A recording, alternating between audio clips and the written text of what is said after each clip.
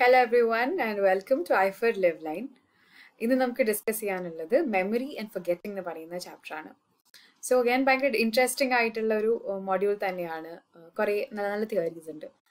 So ഇന്ന് നമുക്ക് discuss ചെയ്യാനുള്ള ടോപ്പിക്സ് എന്ന് പറയുമ്പോൾ മെമ്മറി ആൻഡ് ഫൊഗെറ്റിംഗ് രണ്ടും ഉണ്ട്. മെമ്മറീന്റെ ത്രീ സ്റ്റേജസ് എന്താണെന്ന് നമുക്കറിയാം. Sensory short term and long term അപ്പോൾ അതിനെ പറ്റിയിട്ടും the types of long term memories levels of processing മോഡലിനെ പറ്റിയിട്ട് and some theories of forgetting അപ്പോൾ ഇതൊക്കെ കൂടിയിട്ടുള്ള ഒരു മോഡ്യൂൾ ആയിരിക്കും നമ്മുടേത്. സാധാരണ നമ്മുടെ മൂന്ന് മെമ്മറി പ്രോസസ്സസ് മെമ്മറി എന്ന് പറയുമ്പോൾ തന്നെ ഈ ത്രീ പ്രോസസ്സസ് കൂടി ചേർന്ന് ഉണ്ടാവുന്ന ഒരു സംഭവമാണ് memory so what are the three processes encoding storage retrieval encoding എന്താണ്? നമ്മുടെ സെൻസസിൽ നിന്ന് നമുക്ക് പല ഇൻഫർമേഷനും നമ്മുടെ എൻവയോൺമെന്റിൽ നിന്ന് കിട്ടും അല്ലേ അപ്പൊ ആ എൻവയൺമെന്റിൽ നിന്ന് കിട്ടുന്ന ഇൻഫർമേഷനെ നമ്മളുടെ യൂട്ടിലൈസ് ചെയ്യാൻ പറ്റും നമ്മുടെ ബ്രെയിനിലേക്ക് സെൻഡ് ചെയ്യാൻ പറ്റുന്ന ഒരു ഒരു ടൈപ്പ് ഓഫ് ഇൻഫർമേഷൻ ആക്കി കൺവേർട്ട് ചെയ്ത്. So by transforming information from the environment into a form that can be entered and retained in the memory system so നമ്മുടെ കണ്ണിൽ കിട്ടുന്ന ലൈറ്റ് വേവ്സ് ആവാം ഇയറിൽ കിട്ടുന്ന സൗണ്ട് വേവ്സ് ആയിരിക്കാം.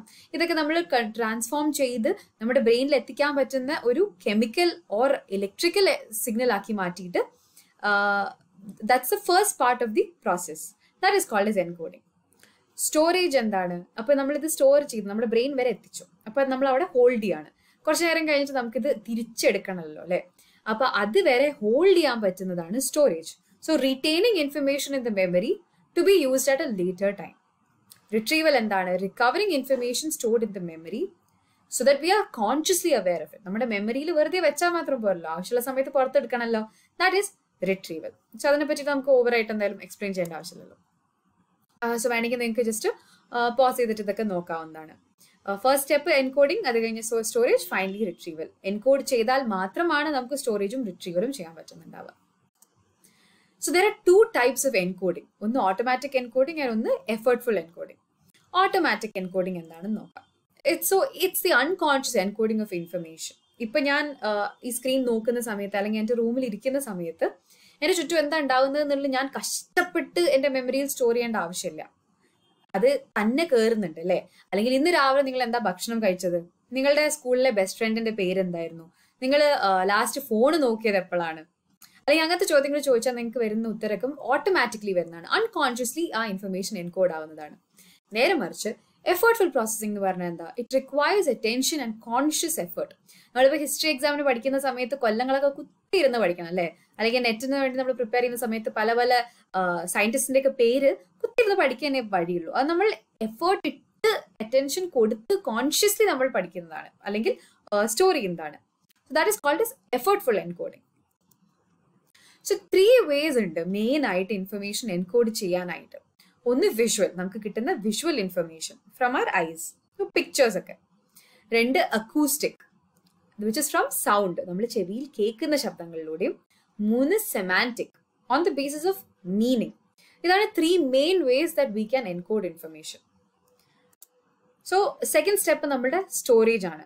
അല്ലെ? Storage is maintaining the information in memory for a long time അപ്പോൾ നമുക്ക് ആ ഇൻഫർമേ നമ്മുടെ സെൻസസിൽ നിലവിലില്ലാത്ത എന്ത് സാധനം നമ്മൾ റിട്രീവ് ചെയ്ത് ഐ മീൻ നമ്മൾ റിട്രീവ് ചെയ്ത് കൊണ്ടുവരുമ്പോഴും അവിടെ ആ ഇൻഫർമേഷൻ സ്റ്റോർ ചെയ്ത് വെച്ചതെന്നാണ് നമ്മൾ കൊണ്ടുവരുന്നത്.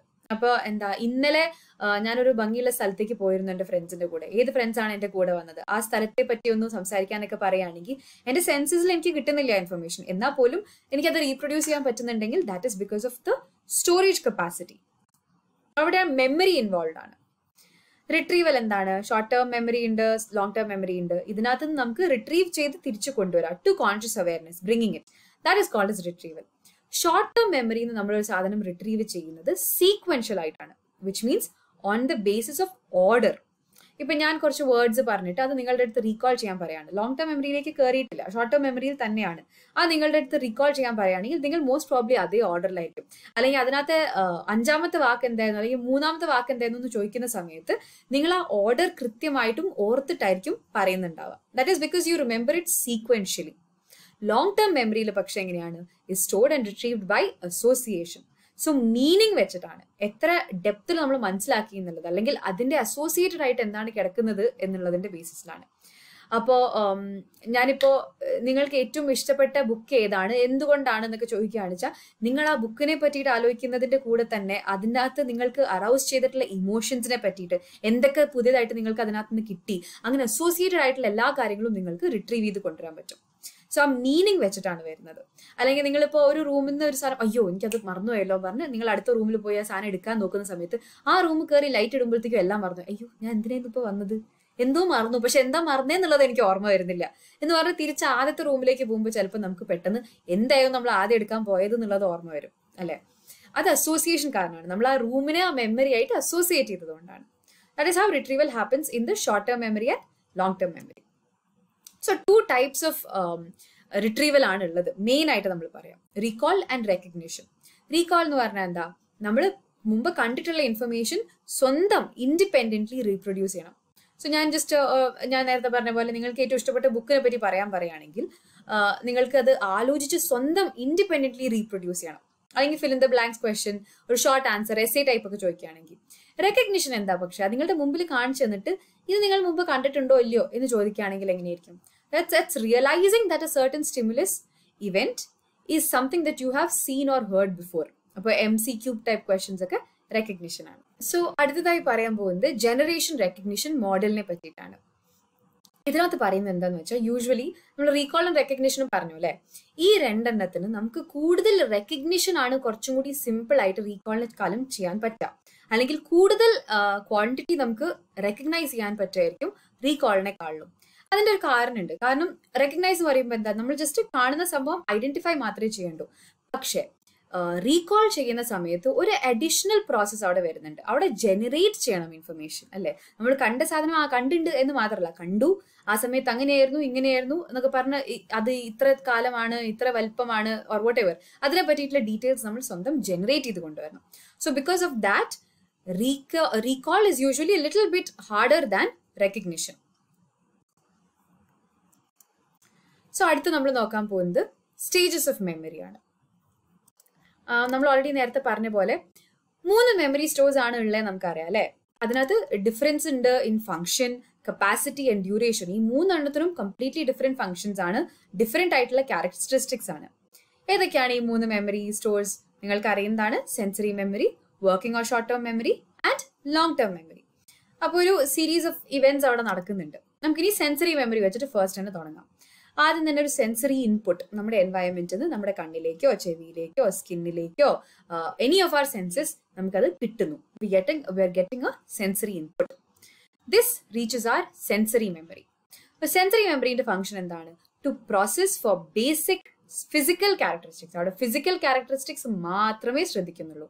കപ്പാസിറ്റി ലാർജ് ഒരുവിധം നമ്മുടെ ചുറ്റിലുള്ള മിക്ക സാധനങ്ങളും നമുക്ക് ആ സെൻസറി മെമ്മറിയിൽ ഒപ്പിയെടുക്കാൻ പറ്റും.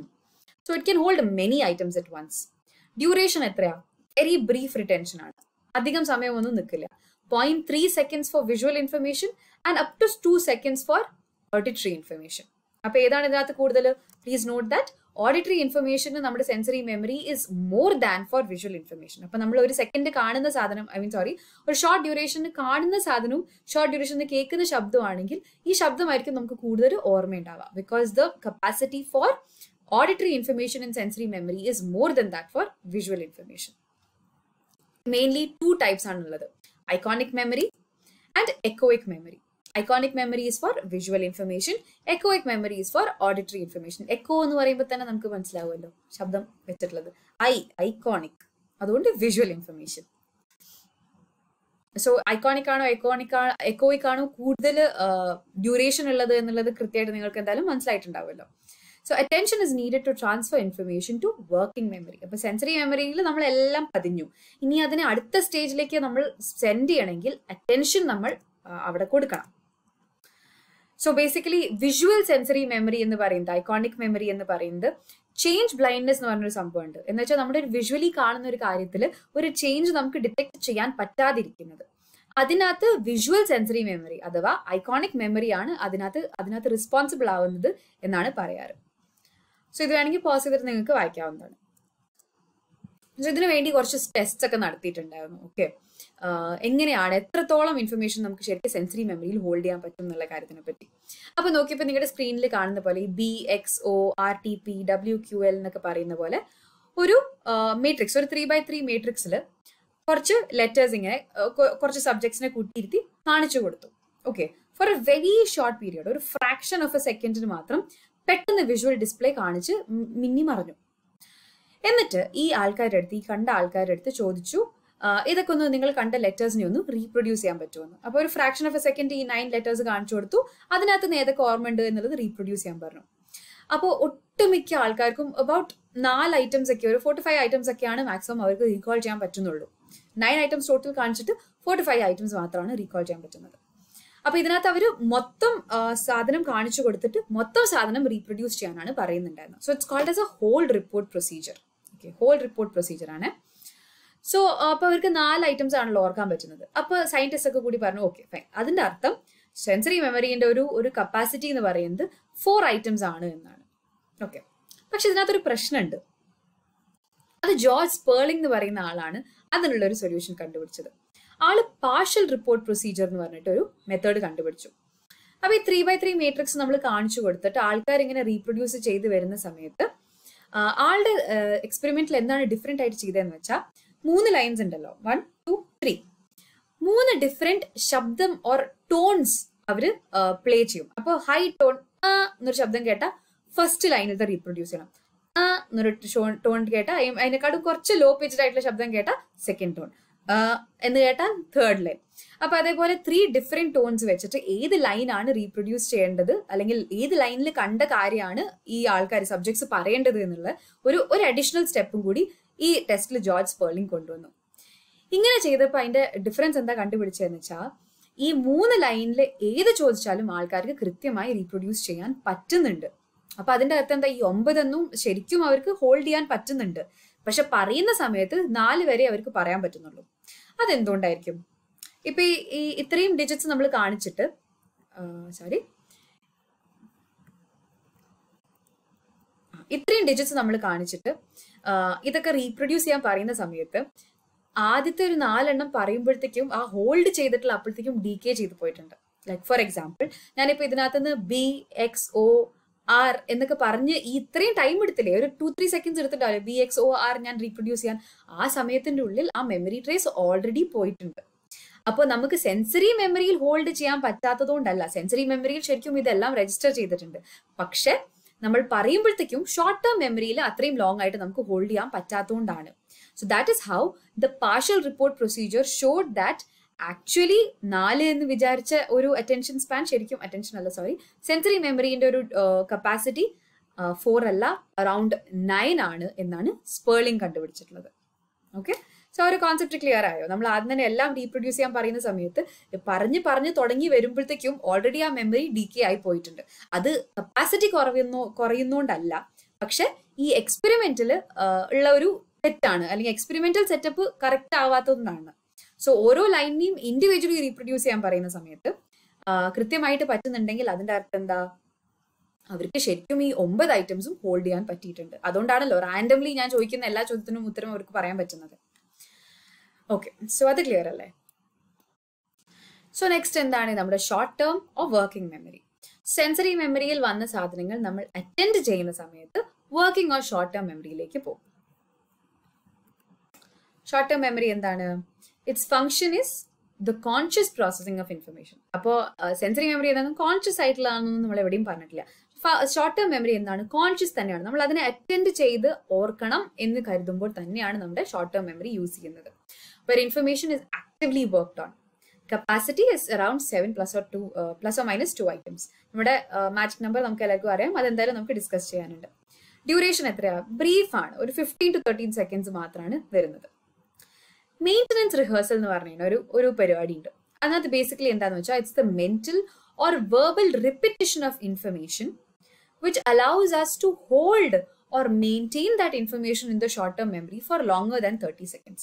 So what is that mean നമ്മൾ ഈ കാര്യം ജസ്റ്റ് ഡീപ്പായിട്ടൊന്നുമല്ല ആയിട്ടൊന്നല്ല പക്ഷെ നമ്മൾ വീണ്ടും റിപ്പീറ്റ് ചെയ്തുകൊണ്ടിരിക്കുകയാണ്. അപ്പൊ നമ്മുടെ ഷോർട്ട് ടേം മെമ്മറിയിൽ കുറച്ചും കൂടി നേരം ഈ തേർട്ടി സെക്കൻഡ്സിൽ ഡി കെ ആയി പോകേണ്ട സാധനം ഇപ്പൊ തേർട്ടി ആവുന്ന സമയത്ത് നമ്മൾ വീണ്ടും റിപ്പീറ്റ് ചെയ്യുമ്പോൾ ഒരു തേർട്ടിയും കൂടെ എക്സ്ട്രാ കിട്ടും. അത് അവസാനിക്കാറുമ്പോൾ ഒന്നുകൂടെ റിപ്പീറ്റ് ചെയ്താൽ ഒരു തേർട്ടിയും കൂടെ കിട്ടും. അങ്ങനെ അങ്ങനെ നമ്മൾ എക്സ്റ്റെൻഡ് ചെയ്ത് കൊണ്ടുപോകുന്നതാണ്. That is called as maintenance rehearsal elaborate rehearsal എന്ന് പറയുന്ന വേറൊരു കാര്യമുണ്ട്. അത് നമുക്ക് പിന്നെ നോക്കാം. സോ എങ്ങനെയാണ് ഷോർട്ട് ടേം മെമ്മറിയിലേക്ക് വന്ന സമയം വന്ന സംഭവം? നമ്മളിങ്ങനെ മെയിന്റനൻസ് റിഹേഴ്സൽ വഴി ഷോർട്ട് ടേം മെമ്മറിയിൽ തന്നെ നമുക്ക് നീട്ടി നീട്ടി നീട്ടി കൊണ്ടുപോകാൻ പറ്റും. അടുത്തതായി എനിക്ക് നിങ്ങളുടെ അടുത്ത് ചോദിക്കാനുള്ളത്. ഇങ്ങനെ ഞാനൊരു കുറച്ച് ഡിജിറ്റ്സ് തന്നു. Okay I give you five seconds ഇത് ആ സമയത്തിനുള്ളിൽ നിങ്ങൾ പഠിച്ചിട്ട് റീപ്രൊഡ്യൂസ് ചെയ്യണം എന്ന് ഞാൻ പറയാണ്. ഓക്കെ സോ അപ്പോൾ ഒരു ത്രീ ഫോർ ഫൈവ് സെക്കൻഡ്സ് ശരി വേണമെങ്കിൽ നിങ്ങൾക്ക് പോസ് ചെയ്തിട്ടും നോക്കാം. അടുത്തത് ഞാൻ പറയാണ് ഇങ്ങനെ ഞാൻ നിങ്ങൾക്ക് കാണിച്ചു തന്നിട്ട് I give you five seconds please remember this and I last you to reproduce it എന്ന് പറഞ്ഞാൽ നിങ്ങൾക്ക് ഏതായിരിക്കും കുറച്ചും കൂടി സിമ്പിൾ ഇങ്ങനെ കാണുന്നതാണോ? ഇങ്ങനെ കാണുന്നതാണോ? ഉറപ്പായിട്ടും ഇങ്ങനെ നമ്മൾ ഗ്രൂപ്പ് ചെയ്ത് കാണുന്നതാണ് നമുക്ക് മെമ്മറിയിൽ ഹോൾഡ് ചെയ്യാൻ കുറച്ചും കൂടി സിമ്പിൾ ആയി വരിക അല്ലേ? അപ്പൊ ഇതെന്താണ് സംഭവം എന്നുള്ളത് നമുക്കൊക്കെ അറിയാം. ചങ്കിങ് എന്ന് പറയുന്ന ഒരു പ്രൊസീജിയർ ആണ്. So what do we do നമ്മളുടെ കുറെ ഇൻഫർമേഷൻ ഉള്ള കാര്യങ്ങൾ നമ്മൾ ഗ്രൂപ്പ് ചെയ്യാണ്. Small bits of information group ചെയ്ത് ഗ്രൂപ്പ് ചെയ്ത് ഓരോരോ ചങ്ക്സ് ആക്കിയിട്ട് അതിന്റെ ഓരോ ചങ്ക്സിനെയും ഓരോ യൂണിറ്റ് ആയി ട്രീറ്റ് ചെയ്തിട്ട് റിമെമ്പർ ചെയ്യുന്നതാണ്. സോ നമ്മുടെ വർക്കിംഗ് മെമ്മറിന്റെ നമ്മൾ പറഞ്ഞല്ലോ ഒരു നയൻ സോറി നയൻ ഐറ്റംസ് അല്ല working മെമ്മറിക്ക് seven plus or two minus plus or minus two items ആണ്. അതിനകത്ത് നമ്മൾ ഒരു സ്ഥലത്ത് ഒറ്റ ഒരു സംഭവം വെക്കുന്നതിന് പകരം ഒരു ഗ്രൂപ്പ് വെക്കുകയാണ്. അത് മൊത്തം ഒരു യൂണിറ്റ് ആയിട്ട് ട്രീറ്റ് ചെയ്യാണ് so that is chunking chunks എന്താണ്? The meaning full units of information ആണ്. സോ അടുത്ത മില്ലേഴ്സ് മാജിക് നമ്പർ നമ്മൾ പറഞ്ഞ നേരത്തെ പറഞ്ഞ seven plus or minus two so ഇതെന്താണ്? ഇത് നമ്മുടെ സെക്കൻഡ് സ്റ്റേജ് നമ്മുടെ മൾട്ടി സ്റ്റോർ മോഡൽ അല്ലെങ്കിൽ നമ്മുടെ സെക്കൻഡ് സെൻസറി മെമ്മറി കഴിഞ്ഞിട്ടുള്ള ഷോർട്ട് ടേം മെമ്മറിയിലത്തെ ഒരു കപ്പാസിറ്റിനെ പറ്റിയിട്ടാണ് പറയുന്നത്. അപ്പോൾ most adults can store between five and nine items അതാണ് seven plus or minus two അപ്പോൾ ഇത് സജസ്റ്റ് ചെയ്തിട്ടുള്ളത് മില്ലർ ആണ്. Nineteen fifty സിക്സിലാണ് it's called as magic number seven അത്ര കോംപ്ലിക്കേറ്റഡ് ആയിട്ടുള്ള സംഭവമല്ല. അപ്പോൾ ഇത് കുറച്ച് സ്ലോട്ട്സ് ആയിട്ടാണ് മില്ലർ ഉപമിച്ചത്. എന്നുവെച്ചാൽ കുറച്ച് ഇപ്പൊ ഒരു നമുക്ക് പ്ലേറ്റ് വെക്കാനുള്ള ഒരു റാക്ക് ഉണ്ടെങ്കിൽ കൃത്യമായി എത്ര പ്ലേറ്റ്സ് വെക്കാൻ പറ്റും എന്നുള്ള ഒരു എണ്ണ ഉണ്ടാവും അല്ലേ? അതിനനുസരിച്ച് നമുക്ക് വെക്കാൻ പറ്റുള്ളൂ. പിന്നെ നമ്മളിപ്പോൾ രണ്ട് പ്ലേറ്റ് അടുക്കി അടുക്കി രണ്ടെണ്ണം അതിനകത്ത് വെക്കുകയാണെങ്കിൽ എന്താ? അത് ചങ്കിങ് ആണ്. But the exact number of slots will be seven plus or minus two so next long term മെമ്മറിയാണ് long term മെമ്മറിയിലേക്ക് എവിടുന്നാ വരുന്നത്? സെൻസറിന്ന് ഷോർട്ട് ടേമിലേക്ക് ഷോർട്ട് ടേമിന്ന് ലോങ് ടേമിലേക്ക് നമ്മൾ ഇതുവരെ ഷോർട്ട് ടേമും വർക്കിംഗ് മെമ്മറിയും ഇന്റർചേഞ്ചബിളി ആണ് പറഞ്ഞിട്ടുള്ളത്. പക്ഷെ ഇത് രണ്ടും ഡിഫറെന്റ് ആണ്. നമ്മൾ എന്തായാലും അടുത്ത വീഡിയോയിൽ കൃത്യമായി പറയുന്നുണ്ട് എന്തായിരിക്കും ഇത് ഇത് എന്താണ് ഇത് രണ്ടും തമ്മിലുള്ള ഡിഫറൻസ് എന്നും സിമിലാരിറ്റി എന്നുള്ളതൊക്കെ നമ്മുടെ ആ വർക്കിംഗ് മോഡലിനെ പറ്റിയിട്ടുള്ള തിയറിയിൽ എക്സ്പ്ലെയിൻ ചെയ്യുന്നുണ്ട് കേട്ടോ സോ എനിവേ തൽക്കാലം നമ്മൾ രണ്ടും ഇന്റർചേഞ്ചബിളി തന്നെയാണ് യൂസ് ചെയ്യുന്നത്. സോ ലോങ് ടേം മെമ്മറിയിലേക്ക് എത്തണമെങ്കിൽ നമ്മുടെ ഷോർട്ട് ടേം മെമ്മറിയിൽ നിന്ന് ഇലാബറേറ്റീവ് റിഹേഴ്സൽ ചെയ്യണം. വിച്ച് മീൻസ് നമ്മുടെ ഓൾറെഡി എക്സിസ്റ്റിംഗ് ആയിട്ടുള്ള ലോങ് ടേം മെമ്മറിയിലേക്ക് ഒന്നെങ്കിൽ അത് ഓർഗനൈസ് ചെയ്യണം. അല്ലെങ്കിൽ അവിടെ ഓൾറെഡി എക്സിസ്റ്റ് ചെയ്യുന്ന കാര്യങ്ങളായിട്ട് അസോസിയേറ്റ് ചെയ്ത് നമ്മൾ ലിങ്ക് ചെയ്യണം. ഓക്കെ സോ ഒന്നെങ്കിൽ ലോങ് ടേം മെമ്മറിയിൽ പുതിയൊരു സ്ഥലം ഉണ്ടാക്കി അവിടെ വെക്കുക. അല്ലെങ്കിൽ ഓൾറെഡി ഉള്ള സാധനമായി ലിങ്ക് ചെയ്തിട്ട് വെക്കുക.